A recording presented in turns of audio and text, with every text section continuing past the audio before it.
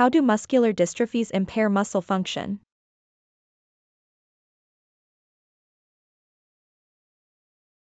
Muscular dystrophies are a group of genetic disorders characterized by the progressive weakening and wasting of muscles.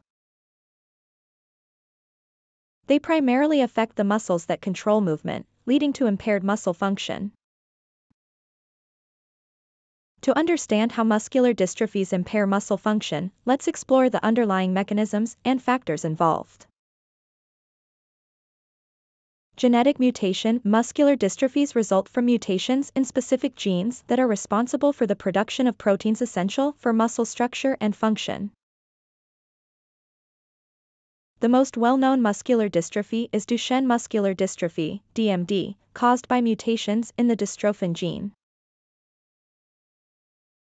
Dystrophin is a protein that helps maintain the structural integrity of muscle fibers. Muscle fiber damage in individuals with muscular dystrophy, the absence or abnormality of the essential proteins leads to increased vulnerability of muscle fibers to damage. During muscle contraction and relaxation, mechanical stress is exerted on the muscle fibers. Without the proper protein support, the fibers become susceptible to damage and degeneration. Inflammation and immune response Muscle damage triggers an inflammatory response, where immune cells infiltrate the affected area.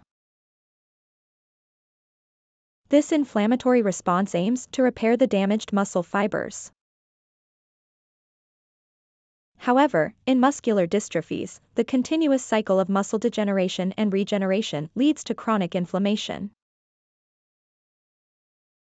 Prolonged inflammation can further damage muscle fibers and impair their function. Fibrosis and connective tissue replacement As the muscle fibers degenerate and undergo continuous cycles of damage and repair, the normal muscle tissue is replaced by fibrotic or scar tissue.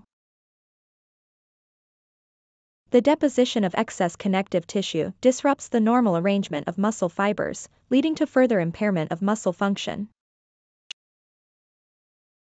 Fibrosis also reduces the elasticity and flexibility of the affected muscles. Muscle weakness and atrophy As the disease progresses, the damaged muscle fibers are gradually replaced by fat and connective tissue, resulting in muscle weakness and atrophy. The reduction in the number and size of functional muscle fibers leads to a decline in muscle strength and overall muscle function. Loss of motor control Muscular dystrophies primarily affect the muscles involved in movement and motor control.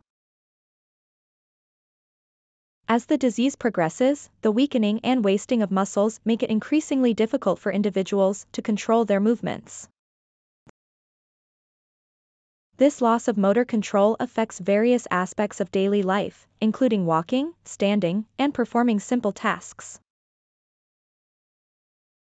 Respiratory and cardiac impairment. In some forms of muscular dystrophy, such as DMD, the weakening of muscles extends to the muscles involved in breathing, respiratory muscles, and the heart, cardiac muscles. Respiratory muscles become progressively weaker, leading to respiratory insufficiency and the need for respiratory support. Similarly, the weakening of cardiac muscles can result in cardiomyopathy and heart failure. It's important to note that the severity and progression of muscle impairment can vary among different types of muscular dystrophies. However, the underlying mechanisms described above provide a general understanding of how these disorders impair muscle function. Thanks for watching, please like and share this video. Also hit the subscribe button, ring the notification bell, and let's embark on a journey of knowledge together.